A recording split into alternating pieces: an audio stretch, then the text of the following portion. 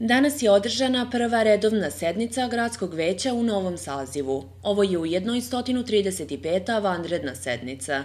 Pred većnicima se našlo ukupno šest tačaka dnevnog reda koje su jednoglasno usvojene.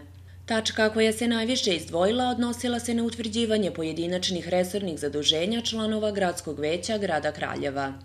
Na današnjoj prvoj sednici Gradskog veća usvojili smo ukupno šest tačaka. Jedna od tačaka se odnosila na opredeljivanje resornih zaduženja članovima Gradskog veća. Članovi Gradskog veća iz prethodnog saziva su delom zadržali svoja nekadašnja zaduženja, a pored starih dobili su i nova zaduženja, a novi članovi Gradskog veća će u naredne četiri godine obavljati dužnosti iz različitih oblasti u skladu sa predlogom koji smo usvojili na današnjoj sednici. Na današnjoj sednici opredeljena su i sredstva za funkcionisanje redovnog rada političkih subjekata čiji su kandidati izabrani za odbornike Skupštine grada Kraljeva. Opredelili smo i sredstva za redovno funkcionisanje onih političkih subjekata koji su učestvovali na izborima za Skupštinu grada 2020. godine i oni će u skladu sa brojem mandata i brojem glasova koje su osvojili dobiti sredstva iz budžeta grada Kraljeva za redovno